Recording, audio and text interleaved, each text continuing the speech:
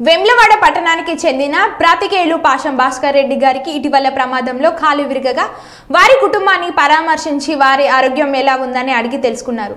అనంతరం ప్రాతికేయులు పర్వెల్ల శ్రీనివాస్ తల్లి గారు ఇటీవల అనారోగ్యంతో మృతి చెందగా వారి కుటుంబాన్ని పరామర్శించి ప్రాగడ సానుభూతి సంతాపాన్ని తెలియజేశారు.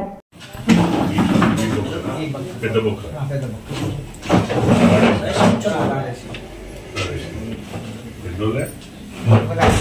బొక్క పెద్ద బొక్క. వాడేసి. ఎన్ని రోజులే ఒక ఆపరేషన్ ఆపరేషన్. నాలుగు నాలుగు రోజులు. ఇక్కడ మన పద్మజ హాస్పిటల్ అని హైదరాబాద్ కుక్కర్పల్లి